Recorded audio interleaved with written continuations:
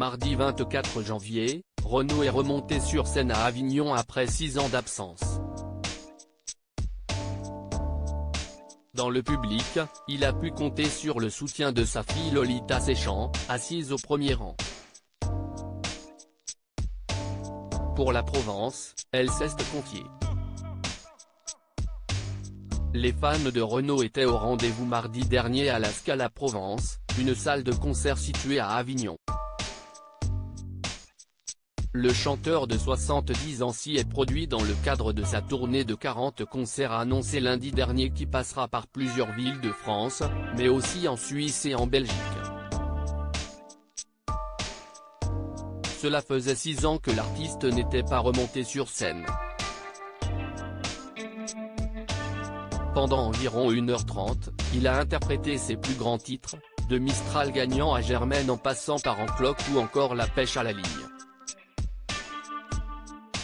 Dans le public, il a pu compter sur sa première fan, à savoir sa fille Lolita Séchant, née en 1980 de sa relation avec son ex-femme Dominique Kilikini.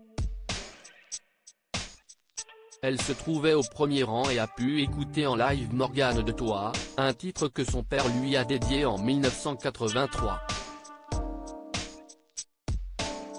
Renaud s'offre un bain de foule pour son retour sur scène après le concert, Lolita Séchant a réagi au retour de son père sur scène à la Provence. Évidemment, je suis fier de mon père, a-t-elle simplement dit. Nos confrères, qui étaient présents, ont dévoilé quelques images du concert.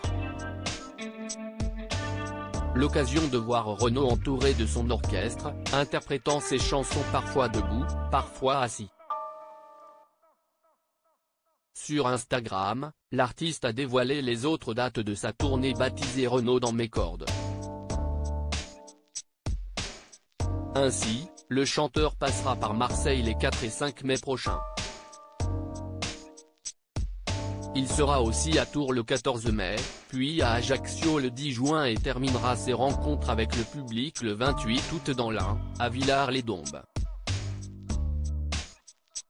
Son apparition remarquée lors d'un événement musical à Cannes le 6 mai dernier, Renaud faisait son retour dans les bacs avec un tout nouvel album baptisé Metec.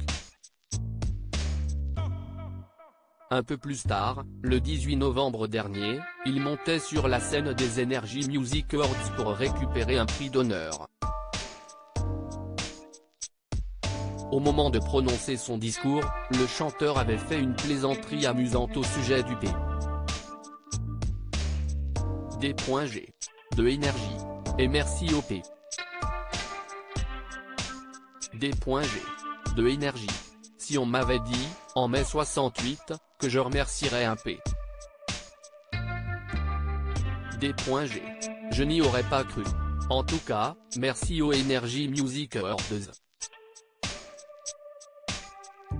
Ça me fait très plaisir, disait-il. À lire aussi Lolitan Séchant, la fille de Renault, atteinte d'une Covid chronique, j'ai cru que l'été effacerait la fatigue, loin de la photo.